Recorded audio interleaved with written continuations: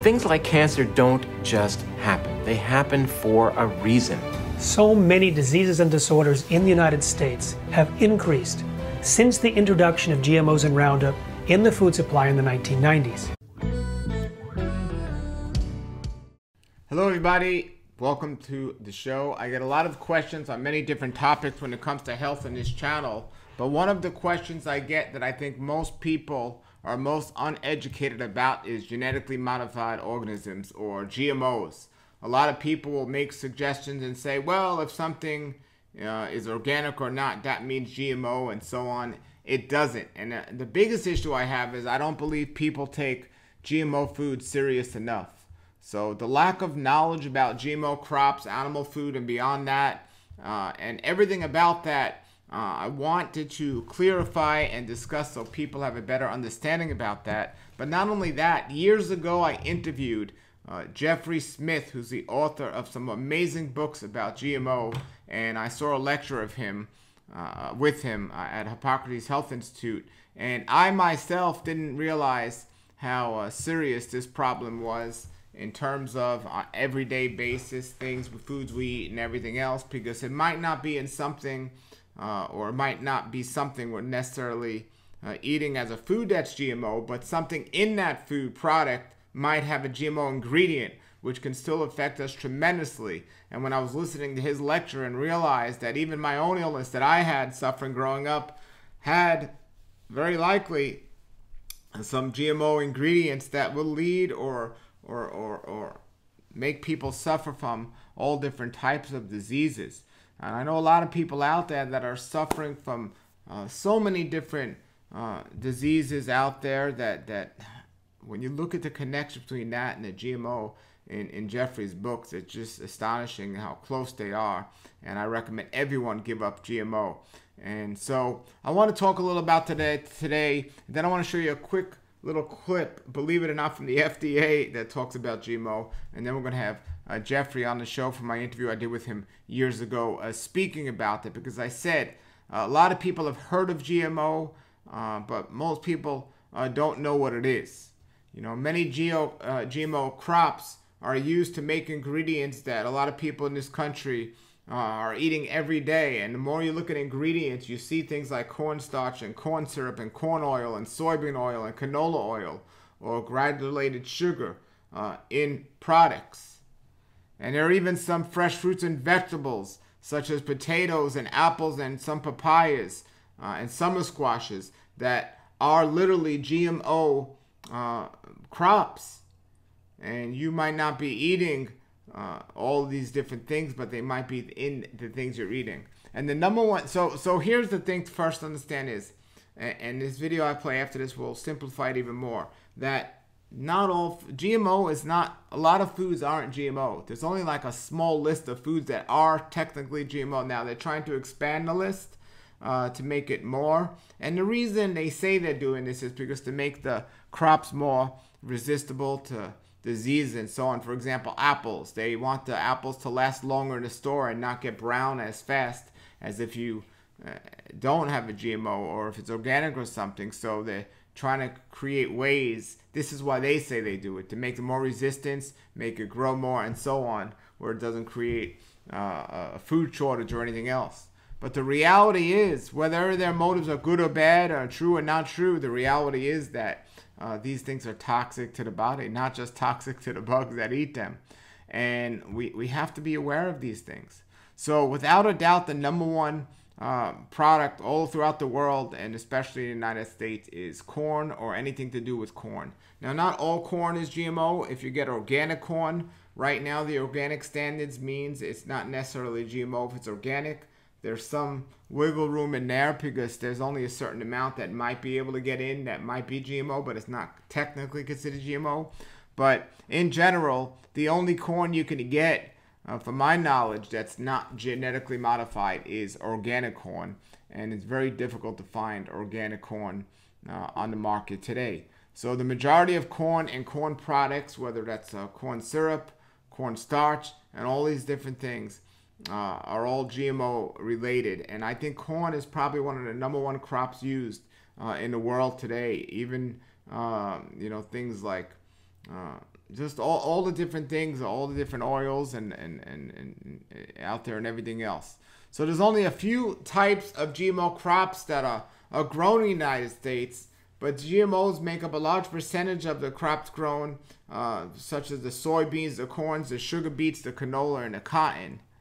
And, and back in 2018, 94% of all soybeans planted uh, G, uh, was GMO and uh, 94% of all cotton was GMO, and 92% of all corn is GMO, and uh, and and so uh, we have we have to consider these things. So uh, in uh, the thinking about these things, and and the, the sugar that's in everything today, the granulated sugar which comes from sugar beets, all genetically modified.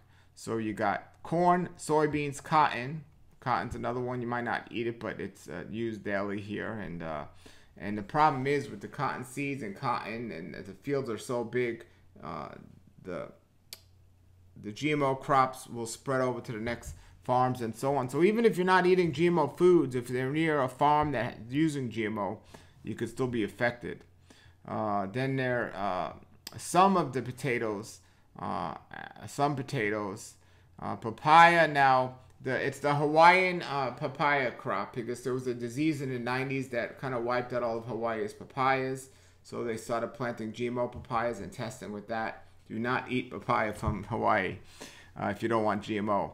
Uh, summer squash and for me, the biggest thing I see in all foods today, and I don't know why companies use it, is canola oil or so-called health companies. There's nothing healthy, and I see sometimes canola oil in uh, certain products and it says non-GMO. Well, if canola oil is GMO and it's in a product, technically it is GMO, but they allow that certain wiggle room there, and that creates a problem. Another issue is with animals. When animals eat, like for example, alfalfa, uh, they, they give a lot of animals alfalfa and other animal feed that has GMO in those feeds. So now those GMO crops are getting into the animal and passed on to you if you're eating those animals or products from those animals. So that creates a tremendous problem. So you might say, well, I don't eat alfalfa, but you eat animals that eat alfalfa. And that also uh, doesn't reduce the, the harmful effects of the G- G- GMOs. So we just got to be aware of ourselves and we got to know which ones uh, are GMO and what's not. Again, it's not a big list in terms of the crops that are, are used, but those cro- if those crops, fruits, and vegetables are in other things that are eaten, well, then it could become a big thing. So here is a, a short video about the FDA and then my interview with uh, Jeffrey Smith. Get his book so you understand the seriousness of this. I'm going to put his links below the video. Thank you for watching. Here we go. What GMO crops are grown and sold in the U.S.? Well, there's corn, like me, soybeans, canola, sugar beets, and cotton. Typically, we're ingredients in certain foods. GMO alfalfa, corn, soybeans, canola, and cotton are used as animal food. And while you won't find many GMOs in the produce section, there are versions of GMO apple, summer squash, potato, and papaya in a few markets. Hi, I'm Jeffrey Smith, and I wrote Seeds of Deception and Genetic Roulette. And uh, my last movie is called Genetic Roulette The Gamble of Our Lives. And now there's a movie out called Secret Ingredients. You can watch the trailer at secretingredients.com. It's not actually out yet. We're still working on it, finishing up this summer. Now, in Secret Ingredients, we go to families that switch to organic foods and autistic symptoms disappear. Infertile couples got pregnant and had kids. People with cancer no longer have cancer. Uh, ADHD, skin conditions, um, so many problems, gluten sensitivity, so many problems got better when people switched to organic. Now, I actually did a survey of 3,600 people who say they improved when they switched to non GMO, most of them by switching to organic. And it was the same kind of answers that I got in over 125 lectures. That when people switch to non GMO, their digestion improves, they, have, they lose weight, they have more energy, reduce brain fog, the immune system functions better, they have skin conditions clearing up, the mind is better, so there's, they're clearer, there's less anxiety, less depression, a whole host of things. And what I've noticed and what we've discovered and, and studied is that when you look at the nature of GMOs and you look at the nature of Roundup herbicide, which is sprayed both on the GMOs as well as some other crops, it can explain these problems. And if you look at these problems and their growth rate, they seem to rise in parallel with the increased use of GMOs and Roundup herbicides. So we think we're onto something huge, and it's simply a matter of switching to organic. And in one sense, you don't have to change your current diet, just eat everything you're already eating and just make sure it's all organic. And then take notes and see what happens to your body, to your mind, your energy level, and to your health. And then when you find out how good it is, tell everyone. Your books and your information explain the dangers of uh, GMO foods. Is organic 100% uh, avoidable of organic uh, of, of GMOs, or is that not necessarily true? Well, nothing is 100% avoidable with GMOs at this point. If you buy anything with corn in it, it could be organic, which is not allowed to use GMOs. It could be non-GMO project verified, which is not only not allowed to intentionally use GMOs, but they test it.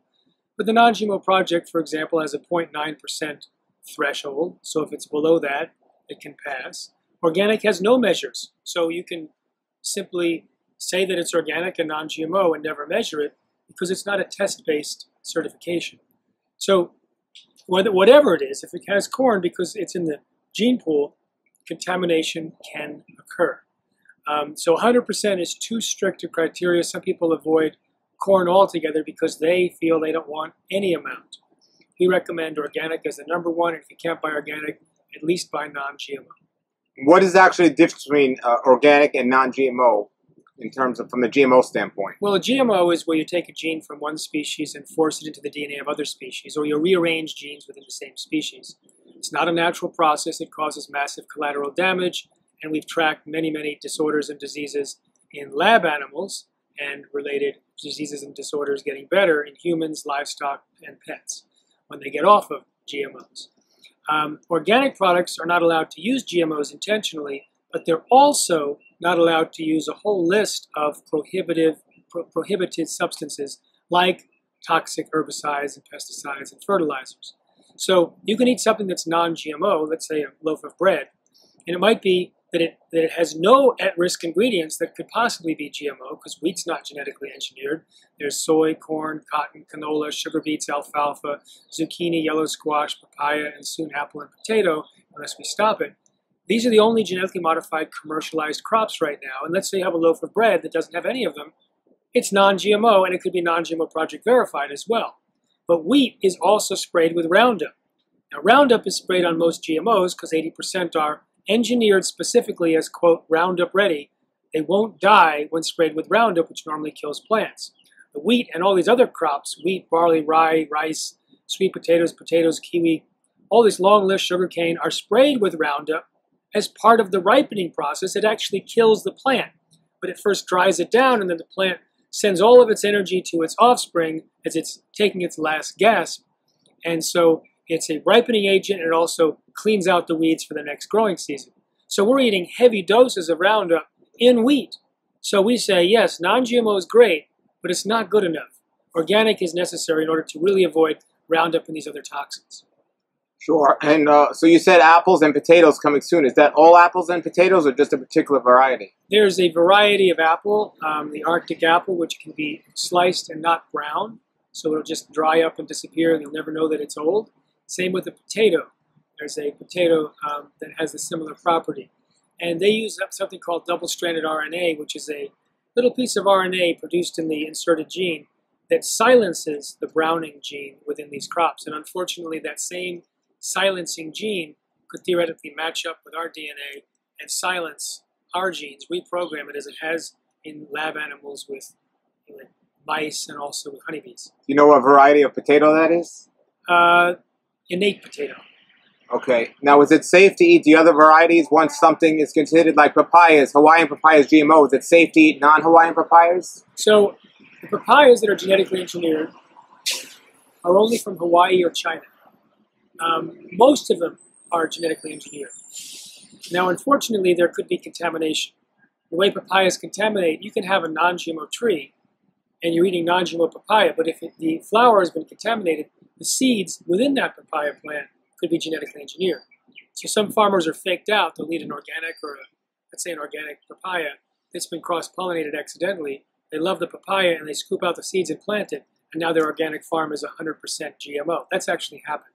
So we recommend if you're going to eat organic papayas from Hawaii, order it from a place that's actually been tested to make sure that they are in fact non-GMO so contamination doesn't happen. They found a large number of contaminated organic papayas many years ago, and I don't know the percentage right now.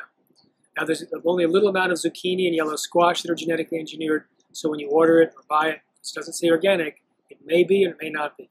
So is what you're suggesting the average small homesteader who has a, a, a couple of acres of property and has a, a garden, it's possible that could be GMO depending if there's a big farm nearby that's using GMO. For the papaya, yes. Papaya could be cross-pollinated with a neighbor.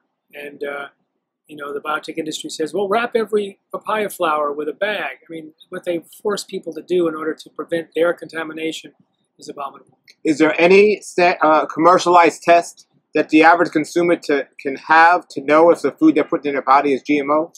Most GMOs are derivatives of soy and corn and cottonseed oil and canola oil found in processed foods. In order to test for GMOs in processed foods, some of them can't be tested because there's no more DNA, no more protein from the original source, like high fructose corn syrup.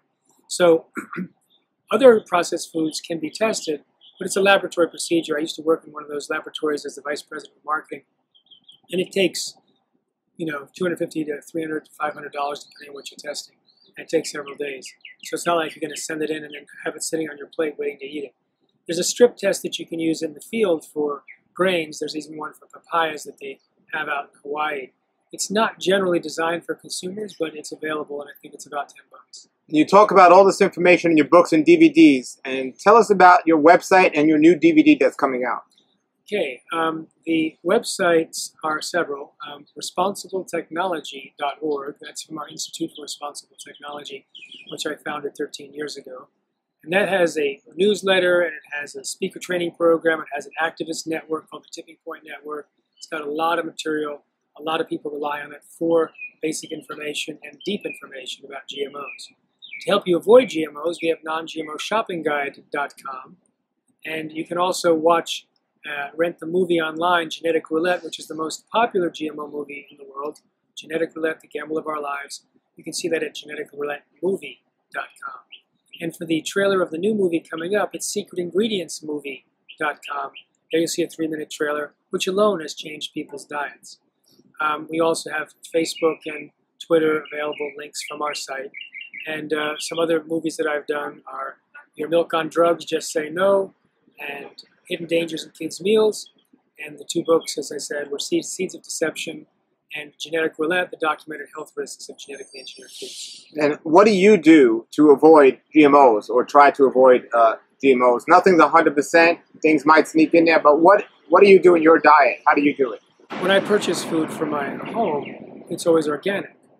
Um, when I go out to eat, uh, I have to make sure that the oil that they use is not genetically modified oils. Remember, soy, corn, cottonseed, and canola are all genetically engineered, uh, more than 90% in the United States. So the oil is certainly going to be a GMO unless it specifically says non-GMO or organic. So if I'm going to be eating cooked foods in a restaurant, I'll make sure they don't use the oils. If I'm eating salad dressing, Make sure the salad dressing doesn't come from one of these oils. And then most of the GMOs are visible, corn, tofu, things like that. Some GMOs are not visible, like soy sauce and sugar, so you have to find out what they cook or, or, or serve. So you're saying soy sauce is GMO? Soy sauce can be Does GMO. it has soy? Soy can be GMO, yes, absolutely. And sugar? Processed sugar or any Yeah, sugar? the sugar. If you say sugar in the United States, it's more than 50% from sugar beets. And nearly all sugar beets in the United States are genetically engineered. And the sugar cane is sprayed with Roundup. So coming or going, sugar is going to be an issue. Um, but if you want to avoid the GMO portion, then buy products that say pure cane sugar Or grow them yourself, right? or grow them yourself. It's hard to grow cane, I guess. So pure cane sugar is your is pure. It doesn't mean it hasn't been used Roundup. No, pure cane sugar could be used Roundup. They don't Yeah. list the pesticides and fertilizers, etc., on the label, so Great. it's not labeled. Great. Well, Jeffrey, thank you so much for this information. I know you have a great resource I want people to get. Is there anything else you want to say to the audience before uh, we finish here? Sure. Um, we've been educating people about the health dangers of GMOs. I've been doing it for 20 years, and it's having a difference, making a difference. 58% of Americans say they're looking for non-GMO foods, and that's not lost in the food companies. Most major food companies have at least some products that are non GMO, and some are converting their entire lines to non GMO. The tipping point of consumer rejection is underway. It already tipped in the natural products industry in March 2013. It tipped in the bovine growth hormone world. Uh, before that, now it's tipping in the conventional food. And we've been helping create the behavior change messaging to give consumers the information they need to make that happen. So if you're interested in becoming an activist, an advocate, a change agent, go to responsibletechnology.org, consider taking the speaker training, joining a group, and especially get familiar with the film Genetic Roulette, The Gamble of Our Lives. It's the most effective tool we've ever tested that converts someone on the spot to a non-GMO diet. It's a thing you can give to your cousins and friends and parents, etc. They're not paying any attention to you because it's you. Just let me do the work for you and show them the film. And when Secret Ingredients comes out, that'll even be more powerful. Great. Thank you very much, Jeffrey. Sure. All right, everybody. There it was. I hope that it's really touching you to to really research this and uh, consider this and and you know there's tremendous amount of information out there uh, on uh, genetically modified foods to help you make wise decisions and i really hope you do get jeffrey smith's books they're excellent see his lectures online wonderful uh, informative and really eye-opening okay? His links are below the video everybody. Thank you for watching. Have a great day and a great raw life. Nature's wealth good for your health. This is the Raw Life Health Show. Raw Life, brighten up your life.